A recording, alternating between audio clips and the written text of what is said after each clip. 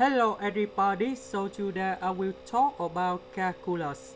The topic today is about the integral. So now I will show you the technique how to answer the question. First, we at number 6, that means we need to minus number 6. Next, we need to divide this integral into two integrals. The first one, that's about 2x plus 6 over this one. And the second one,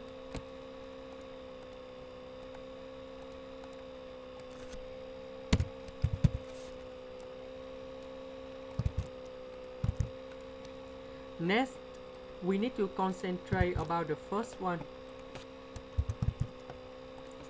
In this situation, we can use about integration by substitution.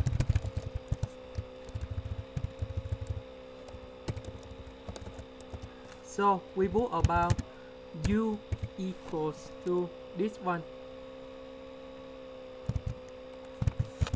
du you got about 2x plus 6 dx so this one we change for you.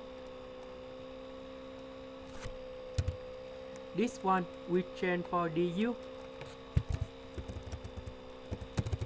and we got about ln of absolute value of u. About u we need to change back for this one.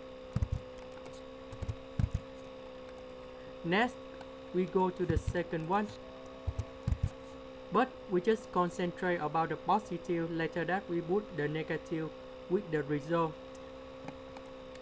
So in this one we have number 6 we can put about 2 multiplied with 3 so about number 13 we can put about number 9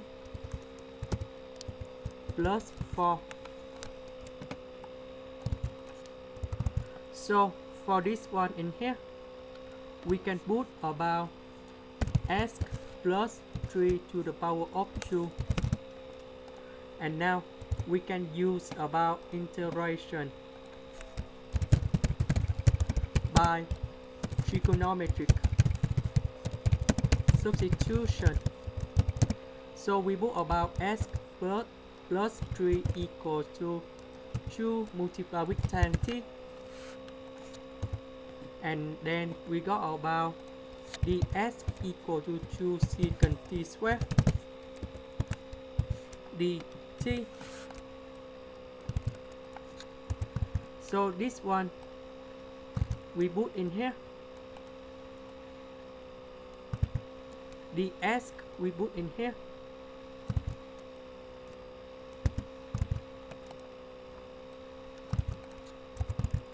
Number 6 multiply with number 2 you got about 12 this one we got about 4 times t squared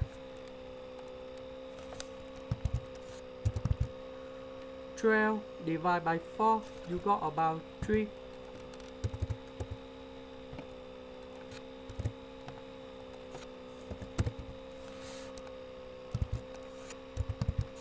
this one we got about secant of t squared and now we just have dt and we got about 3t plus c. About t we need to change back for s.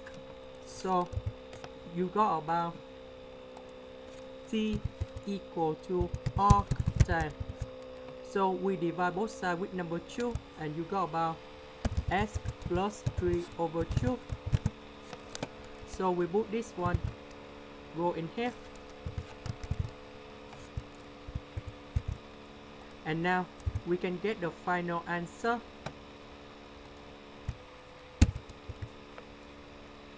So we have this one in here. Because we have the negative in here. So we put the negative next to this one. And you got about negative 3 all time. And we put about c is about constant. That's the end. Thank you for watching